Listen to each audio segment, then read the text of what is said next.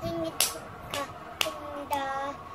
생일 축하합니다. 하지마. 음. 생일 축하하는데 왜 그래? 생일 축하합니다. 캘리포트 생일 축하합니다. 생일 축하합니다. 생일 축하합니다. 사랑하는 피아노 도이들 생일 축하합니다. 나머지 나오고 이렇게 둘 뜨고